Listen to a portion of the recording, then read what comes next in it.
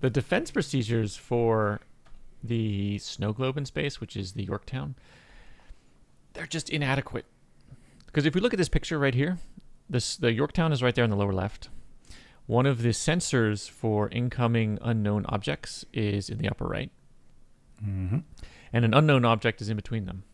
This is damn close. I would want my my my defensive sensors and long range sensors like many light years away from the Yorktown. So right. I would have time to react when things are coming in at warp speed. The sensors they have here are just like right there. If some if a ship was coming in at warp speed, you'd never have time to react. They're on top of you. No chance. Yorktown's toast. I mean, heck, even if they're coming in on this impulse power or even thruster power, this thing is just drifting. So they got plenty. They, this thing is just drifting, and it still got past the the sensor tower. Yeah, literally got past the sensor tower. So what the heck? Like it should nothing should be able to get that close that's not authorized. That's right. Man. I mean, heck, not only should there be one radius for the sensor towers, there really should be like an onion layer, like layers and layers and layers. And so Yeah.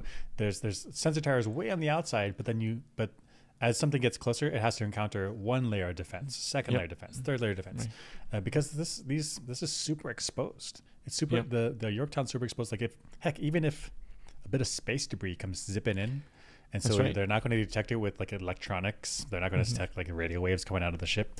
Like a little space debris can come in and damage this this um, atmosphere holding shell. Yeah, so you really have to yeah. have really have to have lots of early warning. Especially especially because out of these these defense towers and out of the Yorktown, they scramble out runabouts, little like little shuttles for defense. It's not like they're scrambling out entire starships. Like the, the defense is super weak. Yeah, for something this high in population, you're gonna need you're gonna need a defleet, defense fleet of ships of different types for rescue, for defense, mm-hmm. for all kinds of things. And they just have runabouts? What? Right. Say the runabouts. Say say you want to stop this ship, and so you like get out there, get out there, and and use tractor beams. But like the runabouts don't have a lot of mass. Like the runabouts could get pulled. A thing. You need to have, to have big ships ready to defend. And and as you were saying earlier, if this was nearby Earth, okay, okay, because you could have Earth's fleet hanging out. But if this is out on the frontier, then this is super vulnerable. Super vulnerable. Hmm. In fact, I think we have video here of how the defense procedures go down when this thing drifts in, and it's all kinds of bad. It's so close. Oh my gosh. IFF alert on incoming vessel. Unidentified, non-Federation. Attention, unidentified vessel. You are not authorized for approach. Power down and await instructions. Unidentified vessel, please comply. I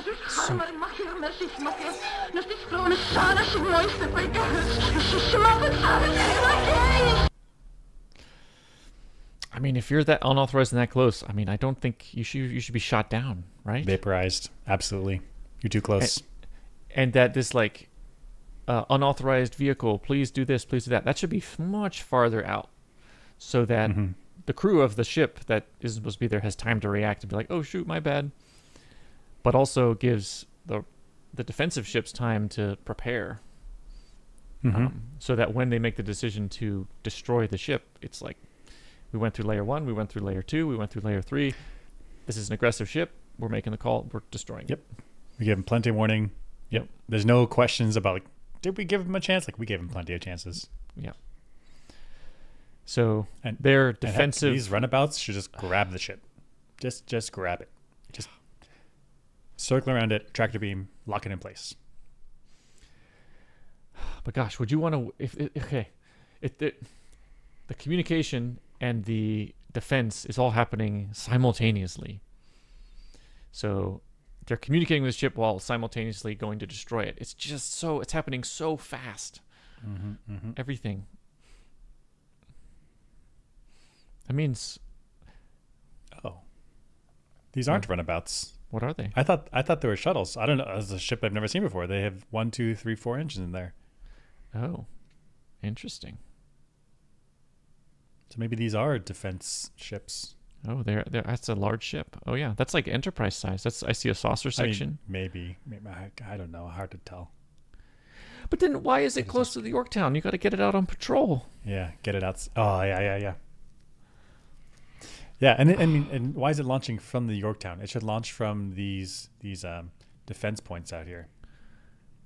That's right. I guess I guess you know, some come from the Yorktown, some come from these defense points. They meet in the middle, Yeah. capture the thing.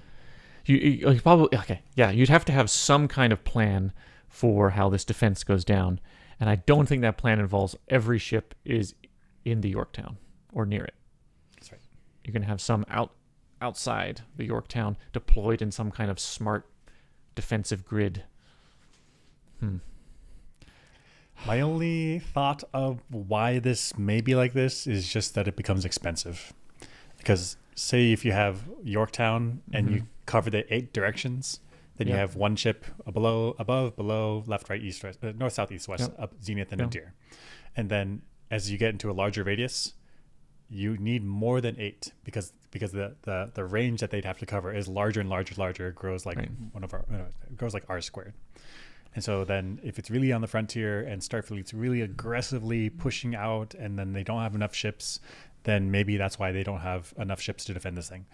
Um, that being said, then this should be further closer back to home because it's just too, it's too risky. right? Because then you can get if you if you bring it close to like Vulcan or Earth or one of the the planets of the Federation, you can double up the defenses. Hmm. The oh, defense yeah, of the yeah. Earth and Dual defense purpose. of Yorktown is the same. Right. But if you floor deploy a bunch of snow globes, now you have and you're resource constrained, you can't build enough ships. You're in trouble. What is Starfleet doing? What is Starfleet doing? Weird inconsistency, right? It feels like for the Kelvin timeline, this should be much more fortified. Yeah, agreed.